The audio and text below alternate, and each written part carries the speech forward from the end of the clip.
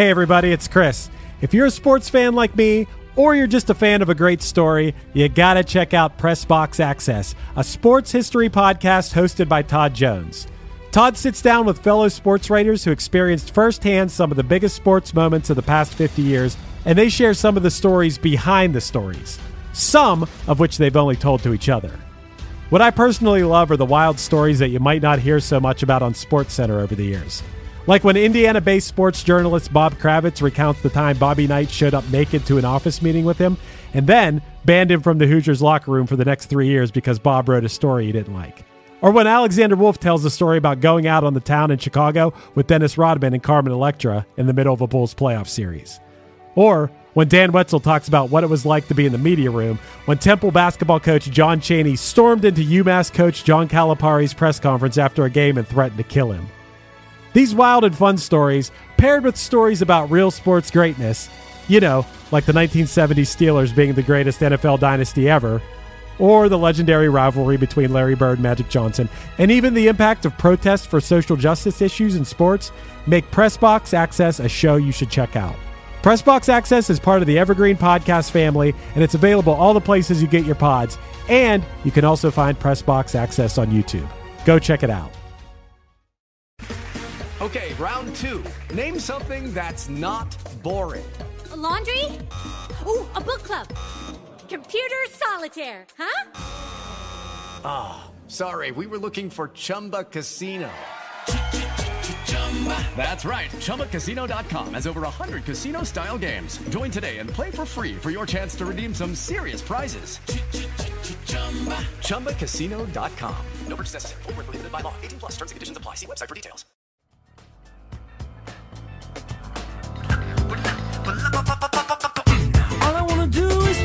You, even though I don't know who you are. You let me change lanes while I was driving in my car. All I wanna do is to thank you, even though I don't know. This week, we extend our gratitude to all the exceptional drivers out there. Perhaps one of you even served as inspiration for Geggy Tah's hit song, Whoever You Are. This laid back track, which encourages embracing lane changes, became a minor sensation in the mid 90s. Despite later featuring in car commercials, Geggy Tah struggled to replicate this success with another hit. Taylor Morden, a devoted fan of the band and director of Bampire, joins us this week to dissect the infectious charm of this tune.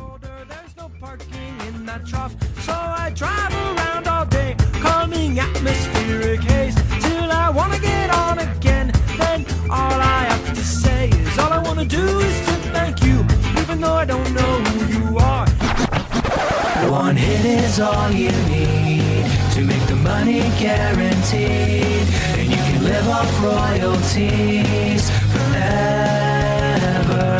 And it makes me wonder: is it just a wonder, or is it one hit thunder?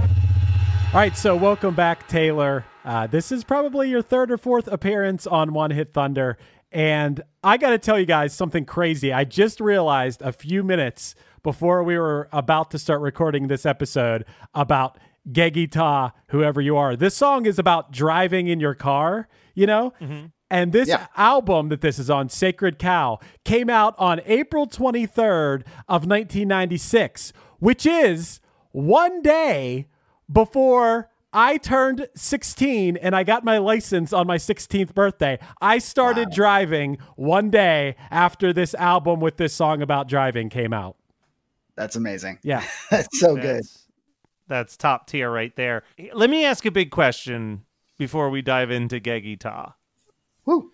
Do we do we talk about how important one of the members from Geggy Tah is now, or do we save that We'll, for the end? we'll get there. We'll get there. Okay, because Yeah. that that was something I forgot about until I was doing research for this, and then I was like, "Oh yeah, Yeah. Well, one of these dudes is very important in music right now." yeah. Well, Taylor chose the song, and sometimes we ask people like, "Why'd you choose the song?" And they're like, "I don't know. I just picked it off the list that Matt sent to me." But I would think that maybe there's a chance that Taylor would have had this album or been a Geggy Tah fan. Am I? Oh man. Are you? Oh man. Oh, I love Huge it. huge Ta fan. Uh, one of my favorite records of the '90s. Wow. This song, right before, and we're all friends. We know I'm a big ska punk, ska music guy. I'm a trumpet player. That was my world in the 90s. But the year before I found ska, this was my gateway into trumpets being in music. You know, there was this band and there was Cake. Yeah. And hearing this song on the radio, I, I very clearly remember being like, oh man, there's a trumpet in this. And I went and I found the record and I listened to every song. I'm, I'm one of those people that's like, this whole album is fantastic. It's got no skips. But it was just really like I have very vivid memories of sitting on the floor in my living room with my trumpet trying to figure out Geggy Tah songs Love like it. I love that. So for hours. I I agree with you that Sacred Cow is a very good no skip record.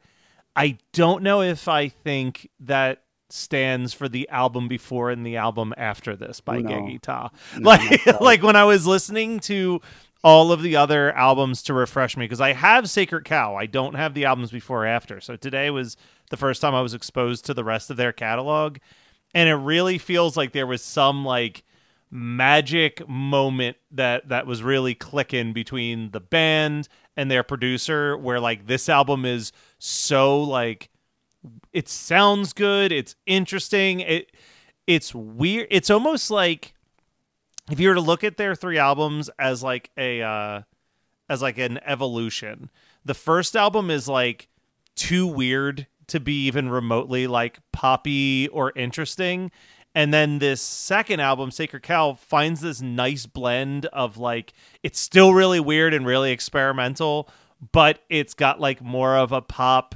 like radio friendly sound and then i think the third album is just like forgettably bland because all of the weirdness seems to be sucked out of it. Like it just feels like a generic acoustic album at that point. Like it this was like that perfect middle piece of them like finding their footing in both of those worlds.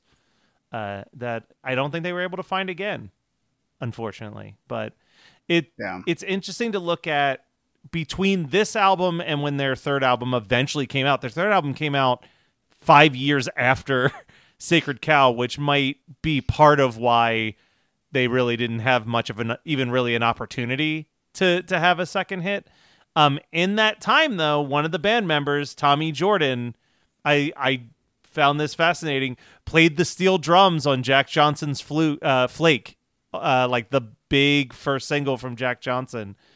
Uh, So I was like, oh, that's that makes the world of Jack Johnson and Geggy Tah interacting makes a ton of sense to me. I don't know. A si- do I know a single Jack Johnson song? Who's Jack you Johnson? should. Jack Johnson. He's like uh you might have avoided Jack Johnson with all of uh with what you listen to. I think he's did. like he's like best buds with Dave Matthews, like did a bunch of stuff with Jimmy Buffett. Like he's Is it a one- different? Is he a different guy than Jason Mraz? He's same same world. Okay. Same Okay, so absolute not a world. different guy. Um Okay. the 'Cause I Jake could name John- five songs, but I don't know Yeah. which of those two guys did either of those songs. yeah, the Jack Johnson song that I'm talking about, Flake, that was probably one of his biggest like radio hits. It was the like so tired of trying. It seems to me that maybe it pretty much always means no. So don't tell me you might just let it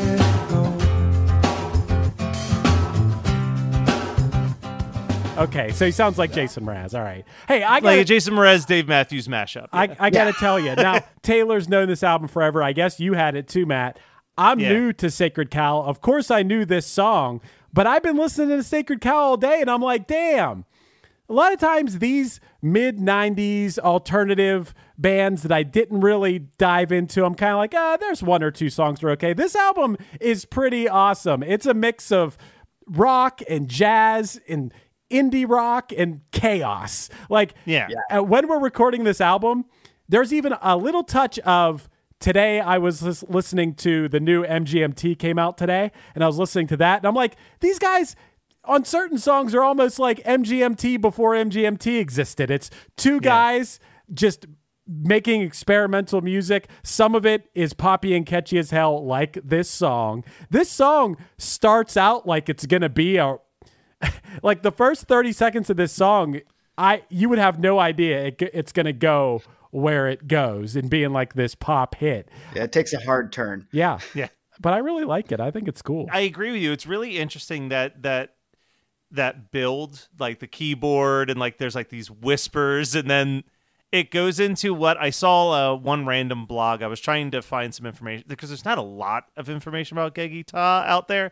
So trying to find, I found a, a random dude's blog just writing about this song, and he described it as he said if, if there was a word to describe the opposite of grunge, Geggy Tah would be it. It's like he's not wrong. When I so I pulled up since it was so hard for me to find like that much information about them or even I couldn't even find when they were on the Billboard charts. Like Google searches were not helping me find Well- the specific date it peaked. Yeah, hold, hold on a second. This is one of those instances where we're kind of really stretching the definition of hit because this song now I remember seeing this on MTV. So Yeah. as far as I'm concerned, if something was big enough to be seen on MTV, it was a hit. But that's not really true. This song only went to number 16 on the modern rock tracks chart. Not even like Yeah. I don't even think it it went into the Hot 100, which is why you're probably It- having It did, did it? but it peaked at 67. So Okay. again, like barely barely really making an impression there either. It was Um, all over the radio here. I don't know, if but that's, that's what a I mean. regional Thing. It was a radio hit, and the fact that it took until 2001 for a car to like a Mercedes Benz finally used it in a car commercial. Like this should have been in car commercials the the week it came out. Like, like there's never like not only is it literally a song about a car, it has the laid back vibe of like driving with your windows down. Like this is the sound of driving around in the summer with your windows down yeah. but I, I wanted to look at like what was the I wanted some type of chart representation. So what I ended up pulling up was what every single number one song was on the modern rock charts for the year 1996. So like to like paint us a picture here of like how kind of out of the box their sound was to everything else. Um, so I'm gonna rock through these real quick. So it started with Oasis Wonderwall that peaked at number one on December 30th and stayed at number one for nine straight weeks. Wow. Then Smashing Pumpkins 1979 Ooh. took that spot for one week before Oasis took it back. Okay. Then Alanis Morissette, Ironic, uh, had it for three weeks. Oasis came back with Champagne Supernova for five weeks. The Cranberries, Salvation, had it for four weeks. And now we are about to hit a string of one hit wonders that were like vying for this top spot. Uh, Tracy Bonham, Mother Mother, had it for three weeks. Good song. Dishwa- Dishwalla Counting Blue Cars had it for one week. Hell yeah. The Butthole Surfers Pepper had it for three Wow. weeks. Primitive Radio Gods had it for six Not- weeks. six Yes. weeks. Six That's weeks. wild. Wow. Pearl Jam, Pearl Jam song "Who You Are," which I barely remember, had it for one week. Three Eleven Down had it for four weeks. The uh, Eels, Novocaine for the Soul had it for two weeks. Sublime, What I Got had it for three weeks, and then the last number one alternative slash modern rock single to hit number one on November sixteenth. Bush Swallowed began its seven week hold of the number one alternative song. So, like, really, when I look at that list, I'm like, maybe Primitive Radio Gods. Yeah. Like, maybe that's like the only band that even kind of feels like in this world. Yeah. Butthole Of, like- a little bit. Yeah. A little bit Butthole Surfers because of the bit experimental lyrically. stuff, but Yeah. yeah, Butthole Surfers was way more uh, antagonistic, experimental. Butthole Surfers wins in a fight.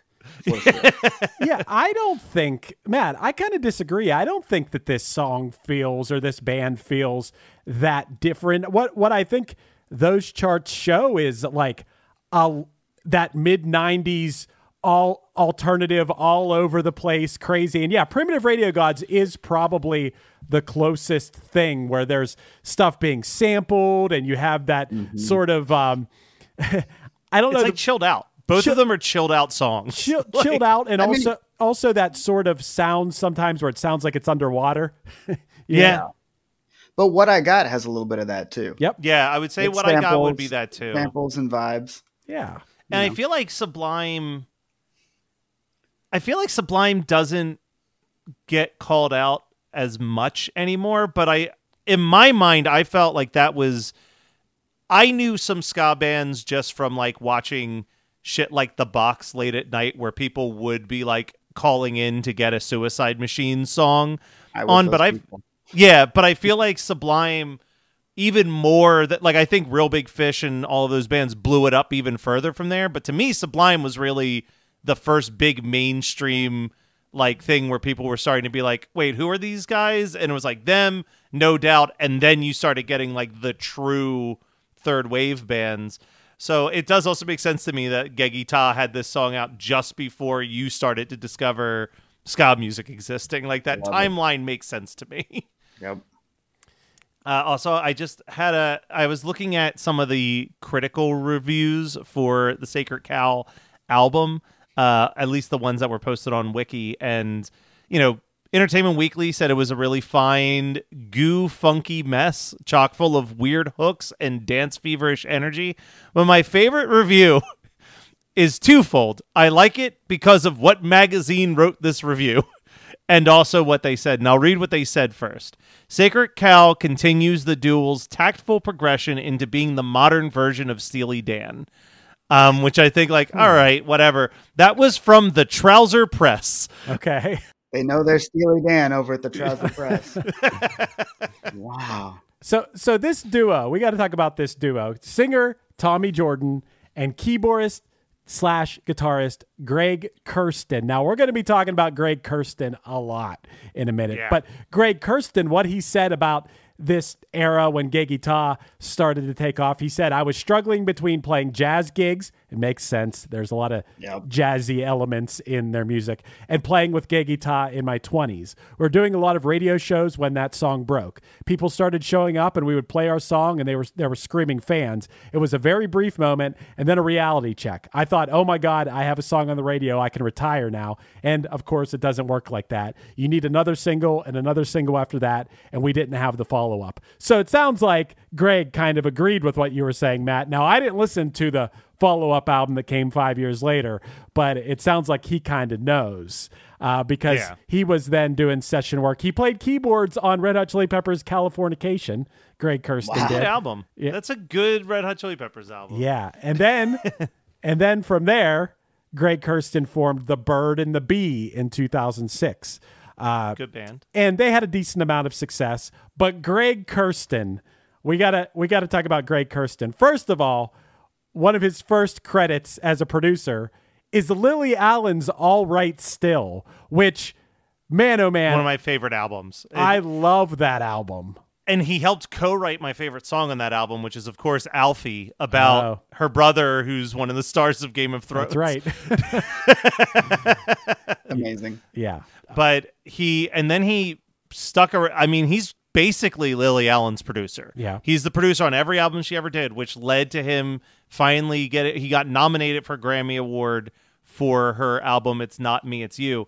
But he has produced for Adele, Beck, the Foo Fighters, the Gorillaz, Kendrick Lamar, Paul McCartney, Sia, Pink, and a ton others. And I wrote down three specific songs that we have to draw attention to that he co-wrote. Yep. he co-wrote "Hello" Yeah. with Adele. He co-wrote "Stronger," "What Doesn't Kill You" for Kelly Clarkson, and he co-wrote "Chandelier" for Yeah. Sia, which are like three incredible songs. And he also produced and co-wrote pretty much all of Kelly Clarkson's Christmas album, which means that he co-wrote "Underneath the Tree," Oh, which wow. is one of the best Christmas songs of the last like decade in my mind. it really is. Wow, I didn't have that. I didn't know that one. That's yeah. This dude, it's so funny that we're talking about a band that he is one half of on a one hit wonder podcast because this dude is responsible for so many hits. Massive, massive hits. It's insane. Like the the guy, he co-wrote those, and he co-wrote Geggy Tah's, whoever you are. Yeah. Yeah, that was what got his foot in the door as a songwriter. Do you think Lily Allen was like, "Get me the whoever you are guy"? Give me the Gay guy. Well, I got to tell you, this guy, Billboard, had a staff. This was like their staff put together this list of the top 50 greatest producers of the 21st century. And Greg Kurstin, they had him at number 18, above the following people. Greg Kurstin was above all of the following people I'm about to name Linda Perry, Benny Blanco, Missy Elliott, Dave Cobb, Dr. Luke, Metro Boomin, Rick Rubin, Rob Cavallo, and Dr. Dre. I, that's pretty Okay. impressive. Do you want to know who he was I- below? I can tell you who he was below if you want some names. I so I want to just throw a few things out there because you said this was 21st century, right? Yes. I mean, a few of those artists, I feel like their their hits were stronger in the 20th century than Rob 21st Cavallo and century, so Dr. can- Dre. Yeah. Yeah, I could say that. Also, just get Dr. Luke wiped out of existence. Like, shouldn't be on any list ever again. Yeah. Well, But- yeah, uh, true. Some of the people that were above Greg. Yeah. This is this isn't to put down Greg, but some of the people that were above him were Lil Jon, Mark Ronson, Jack Antonoff, Noah Forty Shebib, Drake's producer, uh, Timbaland, uh, you know Pharrell, and Max Martin. Those people were above Okay. him, but still, he's in good company. He's in very, very good company. Yeah. I feel like Little John's the only one where I'm like, how many hits was Little John creating in the 21st century? Yeah. but I guess in the early part, that makes sense. Yeah. Do you guys remember this video? Because I even remember watching the music video Oh, where yeah. it's like three dudes crammed in a tiny car and it's just kind of edited rocking out. it's edited into like a driver safety video. Right. Yep. like, and they tried to recreate the old film look, and it's it's pretty good. Yeah. It's it's really good, and I feel like they copied that video has been kind of copied in car commercials before they were using this song because I feel like the the image of a band jamming in a car with the windows down is one that I've seen after this. I mean, Oh, I, yeah. I think of the uh was it, there was that one band the freecreditreport.com band definitely had at least one video where they're playing inside of a car, but I feel like I've seen car commercials advertising that as well of the people hanging out in the car rocking out. Yeah. I feel like the freecreditreport.com band started as a Geggy Tah cover band. That's probably it. I have no proof, but and you might be right. sounds right. Sounds right. Hey guys, it is Ryan. I'm not sure if you know this about me, but I'm a bit of a fun fanatic when I can. I like to work, but I like fun too. It's a thing. And now the truth is out there. I can tell you about my favorite place to have fun Chumba Casino. They have hundreds of social casino style games to choose from, with new games released each week. You can play for free anytime, anywhere. And each day brings a new chance to collect daily bonuses. So join me in the fun. Sign up now at chumbacasino.com. No purchase necessary. Group. Void were prohibited by law. See terms and conditions. 18 plus. I'm not going to lie here. I've become a factor fanatic lately. I'm a busy guy, and getting to eat restaurant quality meals that are ready to heat and eat in two minutes has been amazing. Eating better is easy with Factor's delicious, ready to eat meals. Every fresh, never frozen meal is chef crafted, dietitian approved, and ready to go in just two minutes. You have 35 different options to choose from every week, including Calorie Smart, Protein Plus, and Keto. And also, there are more than 60 add ons to help you stay fueled up and feeling good all day long. I've been spreading the word to everyone I know, not just here on the podcast, but in person as well. Factor is the perfect solution if you're looking for fast, premium options with no cooking required. You get as much or as little as you need by choosing your meals every week. Plus, you can pause or reschedule your deliveries anytime. And the math doesn't lie. Factor is less expensive than takeout. Plus, considering every meal is dietitian approved, it's also nutritious and delicious. So what are you waiting for? Get started today by heading to factormeals.com slash one hit 50 and use the code one hit 50 to get 50% off. That's code one hit 50, the words one hit and the number 50 that is, at factormeals.com slash one hit 50 to get 50% off. Hey, do you have an idea for a podcast but don't know where to start? Or do you have an already existing podcast that you want to take to the next level? Well, check out WeKnowPodcasting.com. From concept development to theme music to editing to logos, WeKnowPodcasting.com is a one stop shop for all things pod. Don't hesitate to hit us up. We're very nice. Is this song really about just someone thanking someone for letting you cut over I- into the lane? I was trying to figure that out. What else would it be? I can't find like a metaphor or a deeper meaning. The only other part is like that Geggy Tah is on the mic. that's that's the only other thing about the you know lyrically in this song.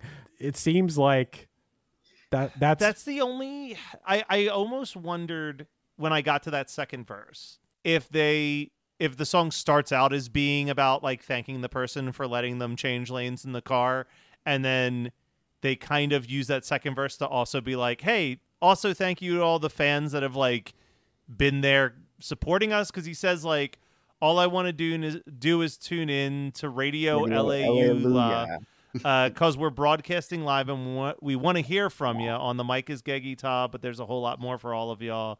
Let us hear you. Let us hear you In a big, in a big echoing holla. holla. So I'm wondering if that's almost them just kind of being like, "Hey, thanks, thanks for buying that first album. I hope you like the second one." oh Like- okay. So that could, Could be, be. That could be the metaphor here. It could be literal. It could be that Yeah. they were driving to the radio station to go Yeah. do a, a show.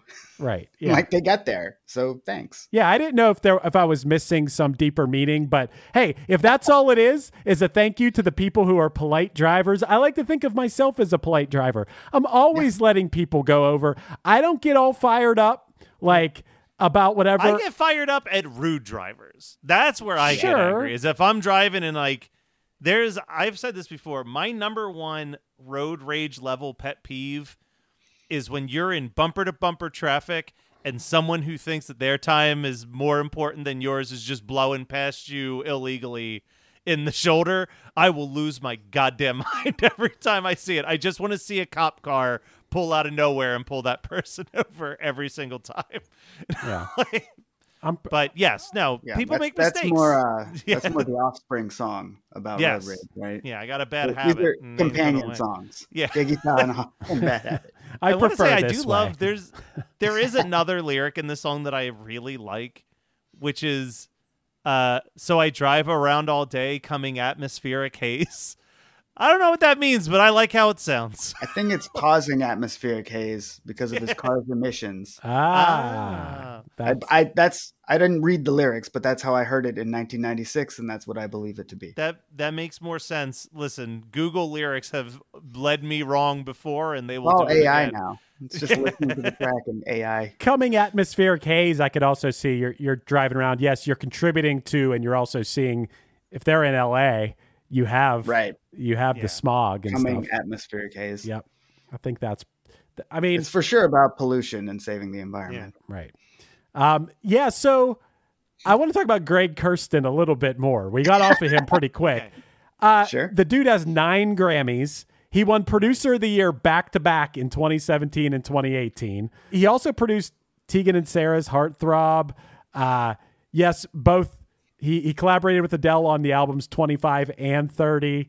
Um, so much stuff. Like, dude, he produced Paul McCartney's Egypt Station album. Like, Yeah. I, regardless of what you think of that album, if Paul McCartney wants you to produce his album, I don't think it gets. It doesn't get any bigger than that, does it? Well, and also like at at the end of the day, I feel like ninety five percent of musicians who play music probably like the Beatles, but I think Geggy Tah really likes the Beatles, so that has to have been a really cool thing to work with with a Beatle, just based on the vibe of their sounds. Hell yeah. Do you think at any point he went up to accept one of those Grammys and he said, Listen, all I want to do is to thank you. It's Even though I don't know who you are. it- it's it's wild that these people that we find out about on this podcast, this once again taking it back to uh, primitive radio gods, we found out that on that episode that the guy JD, who was like the manager, who was like in their corner and insisted that they keep going until that song was finally a hit, is the guy who runs Crush Management, who like Yeah. is the biggest management company of like everybody from Weezer, Green Day, freaking Yeah. everybody, everybody you can imagine. It- it- but we didn't know Well- that. We're just like, who is Well, this guy also- that really insisted the primitive radio gods stick it out from this from this demo song? Well, this is also, I think, in the in the same line that we've stumbled into with like Dan Wilson and Greg Alexander Yeah. of like one hit wonders who have literally created a full successful career off of the the power of a single song. Like, mm-hmm. you know, I, I not that I think Geggy Tah was what sprungboard him into producing. Well, why but, not? Like it didn't. I Well, mean, I'd it didn't hurt. first meeting. You don't know. Yeah, you never know. I I just I feel like the timeline is so separated from the song coming out in his first production job. I could that, uh, find- it's possible. On the other hand, we have all this amazing stuff about Greg Kurstin. I I guess the, the only thing that any of us could find about Tommy Jordan is he played steel drums on a Jack Johnson song. Is that the only piece Uh, of info a you have about Tommy Jordan? a pretty big Jack John. Listen, the Jack Johnson heads who are listening, they're like, he played on Flake. Like they're gonna be super excited about this. Okay, if you say so. I think they call themselves jackoffs. jackoffs. Um, Jack offs. Yeah, I found one one post somewhere. I was trying to look this guy up, and he did like a, a drop in acoustic set with somebody a couple years ago, Okay. Cool. and they were like, "Dude from Gay Guitar is here," so I, he's not dead. Is Okay. what I could find. Good. I'm glad and to hear listen, that. he's played. Let's let's show respect where respect's due. He played steel drums. I just had to Google this. He played steel drums on what was decided to be 2002's best performing song on the adult alternative airwaves chart on Billboard. Wow. Really? Yeah. That Okay. song did really, really How do I not know this song then? I I, I know you some Jason Mraz, like I'm yours. That's Jason Mraz. Yeah. But I feel like Yeah. I feel like there's no way you listen to a song that in the first 30 seconds was just an acoustic guitar and steel drums and stuck around to see I what like happened. steel drums. I like That sounds fun. I like and, it- island and I music. feel like I feel like if you check out the song, it's not like oh he played steel drums and you get the song is mostly steel drum. Okay. Like it's like steel drums and acoustic guitar and a bass line. like, it sounds but, uh, up my alley. I don't know. yeah, it seems like Tommy Jacob, who is literally the voice Tommy of Jordan. Tommy Jordan. Sorry. Tommy Jacobs. Isn't that like a Lord. I have no clue, man. I also called him John. Uh, I think I called him Jake Johnson a couple times because I've been watching Jake New Girl. Johnson from New So Girl. There's just, there's just a lot. There's a lot happening in my brain right now. Yeah, Tommy Jordan for being the singer of this band uh, definitely does not have the the the level of clout that we're finding for for Greg. We've talked for almost 30 minutes and we haven't mentioned what the band name means. Mm-hmm. Did you happen to see what Geggy Tah means? I did. They both had younger sisters who couldn't pronounce their names when they were very young. So Greg was Geggy, and Ta, I guess, was Tommy. So Yeah. Geggy Tah. I like it. So they just combined how their That's sister great. mispronounced their names and made it into a band. Yeah. Well, that's beautiful. Hey, Not when the best version I've heard for a band name, but certainly far from the worst version of how a band has gotten its name. You know, I talked about how this album came out the day before I turned 16 and got my driver's license. So I, I looked back at April of 1996 to see like what happened other than me getting my driver's license. And it was like the most, I, usually I can find like 20 things. It was like the most uneventful month of like noteworthy things. But I will tell you one thing one, exactly one week before that album came out, Anya Taylor Joy was born. So, oh. so hmm. that- Chris, you should update that Wikipedia to include that you got your driver's yeah, license. I'll, try, I'll do my best. I- Punchline basis, Chris Fafalios I- gets his driver's license. I got a game Yeah. for you guys. I was hoping you did. Let's do this. You guys want to play a game? Yeah. So here's how it's going to work. It's songs about driving, all right? And I'm going to I'm going to read a lyric from a song about driving. And if you could be the first one to name what song that is. Now, here's how you're going to buzz in. Uh, Matt, if you want to if you want to buzz in, you have to say Geggy. I was hoping that this is where we were going with Taylor, this. Perfect. Taylor, you're Taylor, you're Ta. Of course. So, so whoever whoever buzzes in first, there are what? How many lyrics? I have seven lyrics here. So, well, man. the the stakes are high here. We got to see Do we need the song and artist or just the song? If you if you get the song, it's fine. I think you'll know Okay. who all the art. If you know the song, you're gonna know the artist. I think Okay. for all of Just these. making sure. All right, you guys ready? Ready. Lyric one: From Mozambique to those Memphis nights, the Khyber Pass to Vancouver's lights. I know this lyric. I'm just trying to I'm trying to take what you said and sing it to whatever melody it's actually sung to. I'm surprised. If you guys need a I, hint, I don't know it. can I'm you just, sit can you actually sing it instead of read it for a no, second? I'm not going to do that. I'll give it away. But I will say here, I'll give you guys a hint. This is a song we've done on One Hit Thunder. I know. No, I, That doesn't help me. It's a one hit wonder. Ah, is it the theme from Where in the World is Carmen Sandiego? No. oh, oh, oh, oh, uh, Geggy, Geggy. All right, Geggy. It's it's Life is a Highway That's, by Tom. that's Cochrane. right. From Mozambique to Of those. Memphis nights, the the Khyber. Pass, Yeah, the yeah. Vancouver's lights. Lights. Knock me down, Get get, up, again. I'm in my road, I'm not a lonely man. yeah. Man, good. what a song! Uh, I've really turned around on that song since we recorded that episode. That song's great. Life is a highway. Okay. Uh, lyric two I got no car and it's breaking my heart, but I found a driver and that's a start. I don't recognize this lyric at all. No Geggy or Ta here.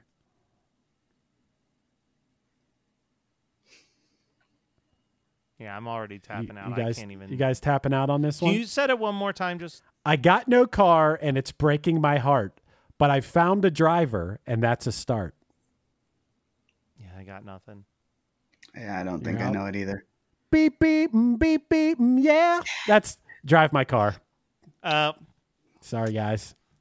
not my favorite Beatles song. I like that song. It's a good song. All right, Matt's still in the lead. He got it's it's 1-0. Lyric 3. I'm in the mood. The rhythm is right. Move to the music. Yeah, we can roll all night. Yeah. Remember, these are all songs about driving. Yeah. Can you say that one again? I'm in the mood. The rhythm is right. Move to the music. Yeah. We can roll all night. Yeah. Ta. Oh, go Oh. for it. I, I this is just a guess, but is it get out of my dreams, get into my car? Sorry, it is not. Yeah, Uh, you got a hint for us? Um it's not that one. That's a hint. yeah, I don't Yeah. I don't have a hint for you. Then I'm not gonna I'm not gonna tag in on this one. All I'm just gonna keep my one point lead. Sorry guys. That was Slow Ride from Foghat. Oh, All right. take it easy. Take it easy. Yeah. I didn't know this was going to be so All the hard. lyrics I know. All right, lyric 4. I'll be the sun shining on you. Hey Cinderella, step in your shoe. I'll be your nonstop lover. Get it while you can. Your nonstop miracle. I'm your man. trying to think of a song where some guy calls a girl Cinderella. I'm going to be shocked if one of you guys don't get this one. I'll be the sun shining on you. Hey, Cinderella, step in your shoe. I'll be your nonstop lover.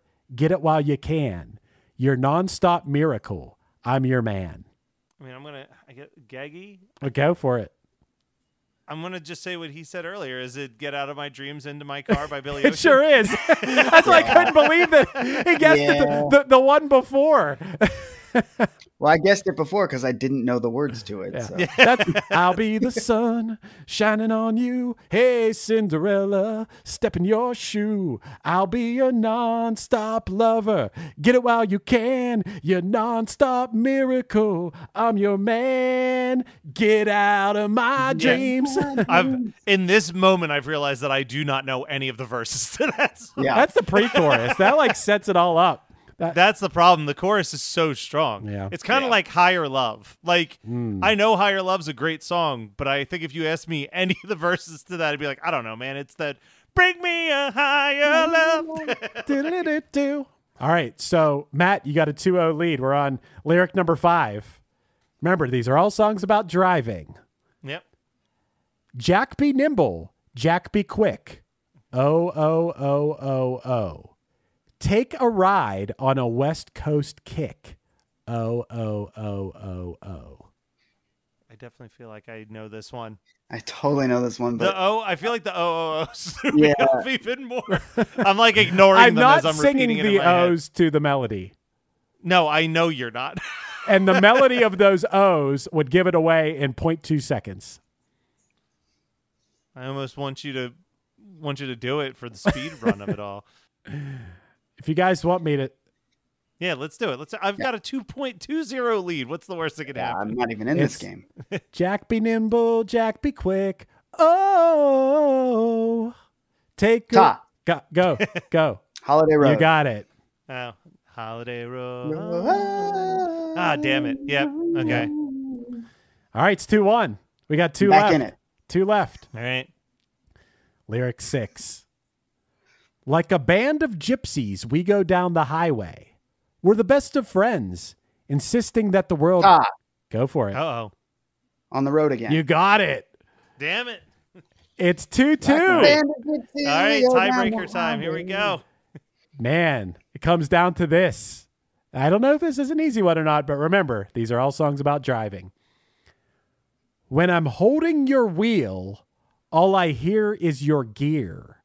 With my hand on your grease gun, ooh, it's like a disease, son. This is a challenging one. I mean, rhyming grease gun with disease son. That's the next level. Ooh. Oh boy. Um, I think I'm gonna stay out of this one. Oh, wow. when I'm holding your wheel, all I Well, hear. wait. Is there any? You're not deducting points for it being it- wrong, no. Ta. Oh, go for Okay. it. Is it Highway to Hell? It is not. Sorry. Yeah. All right. I mean, I guess My it's, guess. he's out, and I can't do anything but keep it a tie for being wrong. So I guess Geggy. Um, Go for it. I don't. I I don't know why. Because I don't think that I have ever heard this man say disease son, but the car analogy doesn't feel too far off from other lyrics in Born to Run by Bruce Springsteen. So I'm going with that. Sorry. It was actually I'm in love with my car from Queen. Oh, by Queen. Yep. Yes. Yep. It's not a good song. That's who says grease gun. That's my game, guys. That's my I liked it. It was a good game. That's my game. Uh One game. but I don't know. What do, how do we feel about Geggy Ta? So good. So Oh, okay. We're saying so good. Thunder or blunder is how I, I should say this, I guess. Is uh right. I should know that by now. yeah. Uh, I guess you I, you're saying thunder. I was a Thunder before, you know, right. for 25 years, this song's been a Thunder for me. I think I'm actually going to go blunder. And I'm going to go blunder for a couple reasons. I'm going to go blunder because, like I said, the album before this and the album after this, not great. I do like Sacred Cow a lot, but I also think that this is there. There's no like hidden could have been the bigger single so- song on Sacred Cow. This is the standout song. Hey, I will say that the song right after what the third so- the third track on the album, the like punk song. Yeah. I for- What's wrong? You always crying lately. That one? yeah, I think what what's Sacred it, Cow? what's it called? Yeah, what's the third the third track? The first track is like a, a, a voice message from his grandfather. Then the se- Yep. the second song is whoever you are, but the third song that song's awesome. Third song is called Lot of Stuff. that song. Oh, that song's great. That song's the video for that song, Yep. they did in a way that I had always wanted to do a video where they went to a 90s electronics store Yep. and filmed it on the VHS cameras in the store, like Yep. brought their own tapes, just used the ones in the store and never took them out of the store. right. Yeah, it's pretty It's good so video. good. Yeah. In the mid '90s, that could have been an alternative hit. I think that song It was could really have good. worked, yeah. It, I just I think that everything that Greg has done afterwards has been impressive. I just to me when I think of like Thunder or Blunder, right? In my mind, I think if I'm saying a song is Thunder, I am saying to the audience, "Hey, you really need to dive so much deeper into this band because you're missing out on so much great stuff." And as much as I like the album Sacred Cow, I'm also saying you know, if whoever you are is the only song that you know by Geggy Tah, like that's fine. Okay. That's- So you're You're, like- not rating the song, you're rating the rest of their catalog. The yeah, the rest of their catalog. The entire Got yeah, list. yeah, I'm looking at it through the lens of Geggy Tah. If we're just talking about the song, like yeah, whoever you are is an amazing song, but Geggy Tah themselves.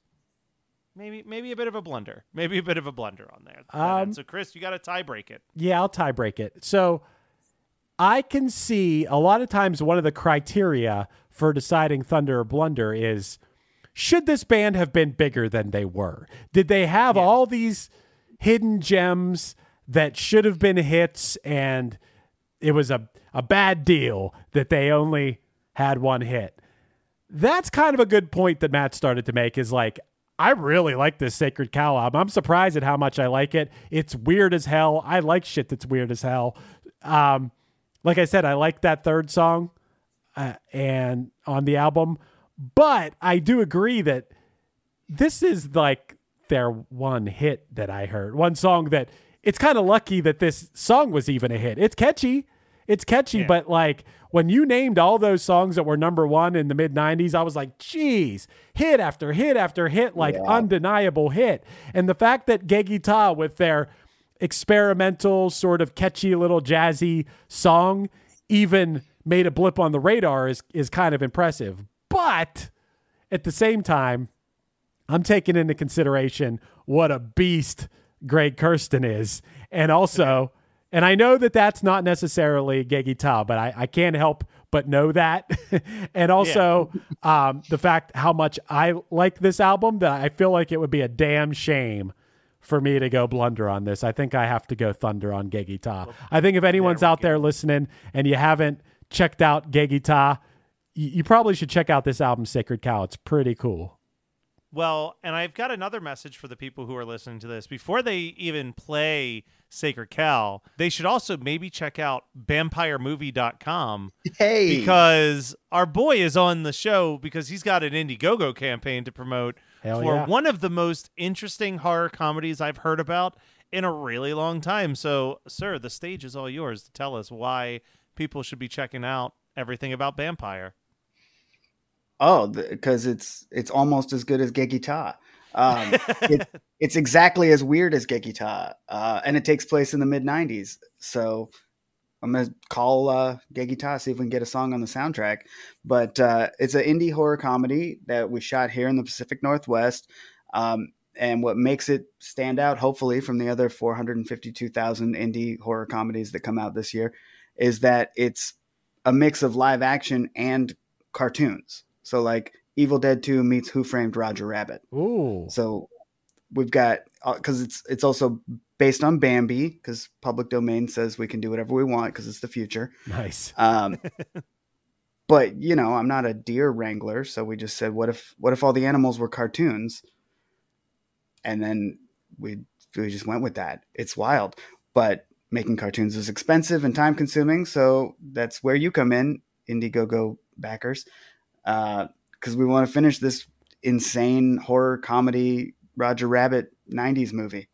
Hell yeah. And you've um you've told me uh that like something that I think is really interesting and cool is your vision for this is so let's say a cartoon deer is attacking a live action human that the gore won't be animated though. The gore is happening in real time so it'll be like Yes. gore effects coming out of Yes. the human while the cartoon is eating them Practical which I think blood, is yeah. awesome.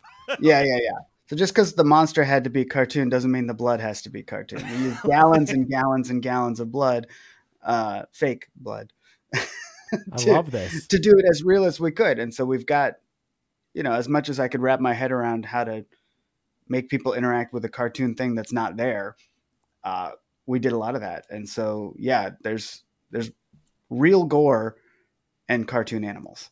Dude, has I um my mind's kind of blown. Has I don't think I've ever heard of well, I guess it hasn't been done that much at all, really. You would have thought that Who, Who Framed Roger Rabbit would have opened the door Right. to like the mix of live action with animation, and it really It has only led to Cool World. cool world, yeah. Yeah. Yeah. That's what it led to. And then that was such a disaster that they stopped doing it. Yeah. Yeah, Cool World was supposed to be. I mean, if you look at what the movie Cool World was supposed to be, it was very interesting. So the original intention of the movie, because it's about a guy who creates a cartoon character, goes into that cartoon world, and at some point has sex with that cartoon creation. That was essentially supposed to be the first like ten minutes of the movie, and then the movie was that the cartoon character gives birth to a child that is half human, half animated. And it comes to the real world seeking revenge for the father that created Whoa. him as this like freakish monstrosity that can't Wow. exist in either world. Uh, and then the studios were like, yeah, we're not in the business for an R-rated, very expensive niche movie.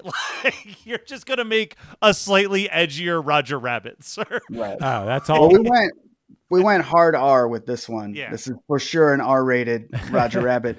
But also, if we raise enough money on the Indiegogo, I'm getting the rights, and we're making Cool World Two. Cool, Nice. also- dude. It's It, that sounds insane. that's such, and I I like I love the idea of what that would look like to have like a person who's half cartoon, half human. Like that's awesome.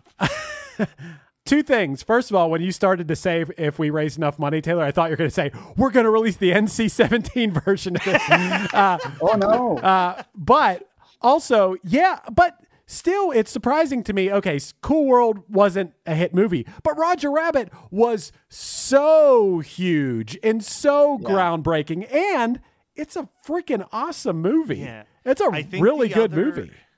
Well, the think new Chip 'n Dale Rescue Rangers movie is like that, Yeah, I- Yeah. I, didn't and see it was that. good. I like that movie. Yeah, that was really really good. I think the problem also like we on so on the horror movie night Patreon page will review non-horror movies that people vote on and we recently did Rock-a-Doodle, uh the Don Mm. Bluth movie from the 90s and let me tell you that movie is 3 or 4 years after Who Framed Roger Rabbit and there is a single sequence where a adult human child is dancing with cartoon characters and the like the coloring is all weird and the framing is all off so like What is an adult child? yeah well you know Me? You're just yes saying me. yeah. Adult But- child. but i i think i think the secret that who framed roger rabbit had that a lot of other people couldn't match was the combination of robert zemeckis and walt disney and the backing of all of warner brothers as well. Like it was a very expensive movie to mm. make Yeah. who framed roger rabbit. And it's probably one of those movies that despite how successful it is i am sure that hollywood math says that it is still nowhere near turning a profit Really? um, based on how well i'm not sure if you're familiar with hollywood math but hollywood Creative math accounting. Yeah. yeah. creative accounting is very creative accounting says that back to the future hasn't made profits yet Right. oh, oh, okay. because they'll be like oh yeah no your your film costs this much but we put this much into advertising Right. and we put you understand much- it in terms of record labels. Right. yes Okay. Right. yeah Oh, sorry, we didn't recoup because we spent all this money promoting the thing. Well, did you? Yeah. Or Yeah. Like- You know, or did you put our name that's on a why list of that's 50 why things that you um what's for? his name uh thomas wilson who was uh biff in the in the back to the future movies has stated that there will never be a fourth back to the future movie or if there is he will not be a part of it because he's like my whole contract was based on working cheap on getting a percentage of the profits and i've yet to see a single Dude. piece of profits all these years later I got to talk to that guy, Taylor. I've talked about this on the podcast many times. No one told a young punchline that, like, Tom Wilson, we always thought like, well, you got to recoup this money, like, so we we want to try to break even. We don't want to like take tour support or extra money for You didn't know that was the only money you'd ever get. Right. Yeah. We didn't know. Like, if I could go back in time, I would have taken everything and asked for more. We didn't know. Yeah. We were just like, Yeah. we were so used to doing everything ourselves for so long. And it's like, you want to recoup Right. like common sense that when we got to a level where it's like, oh, we could get, like, we were like, no, we don't want to take that. How dumb were we? You just believe the people when they tell you. I mean, the music industry and the movie industry are identical in that way that just, you know, doing it yourself is completely different because you try to save a dollar because every dollar you save is a dollar you earn, right? You Yeah. print your own t-shirts as a band so that when you sell them you get $6 instead of $4 or Yeah. whatever the you know the profit difference is. But then you get to a certain point where you're getting a percentage of uh net gross i don't know how money works but Yeah, net profit off of a thing that will never reach a profit because somebody in a business building somewhere is like oh man we spent too much on lunch last week so i guess Right. the punchline record didn't break even Right. Yeah. you're like i didn't authorize this lunch Yeah. Yeah. It's crazy. Well, well, that's why it's important to support independent filmmakers right. and independent musicians. And a 100%. good way to support this particular independent filmmaker is bampiremovie.com. thank you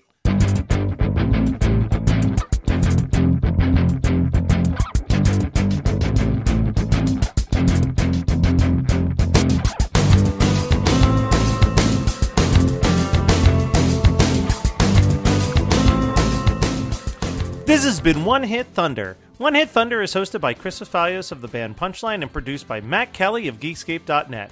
Underneath me, you're hearing A Beautiful Green off the Punchline album Action, which turns 20 this year. Visit punchlinemusic.com for any upcoming news on the band and upcoming Action anniversary tour dates. Our podcast is on Patreon now. Find us at patreon.com backslash OHT podcast for early access to episodes, bonus conversations, and a chance to vote on future songs for us to cover. Be sure to rate, review, and subscribe to us on any podcasting app, and tune in next week for more One Hit Thunder.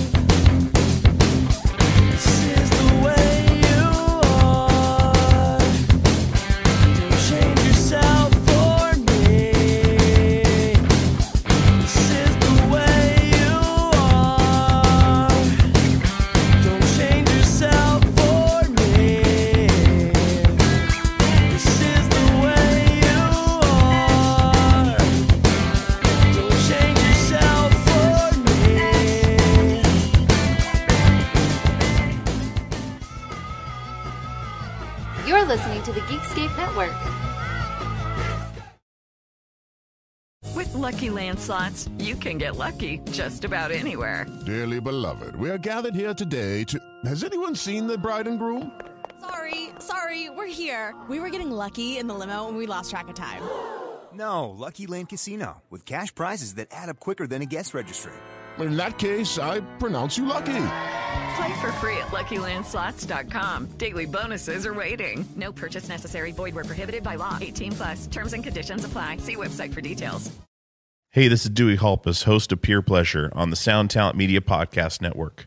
Join me each week as I explore another long form conversation with one of your favorite musicians, actors, comedians, or creatives.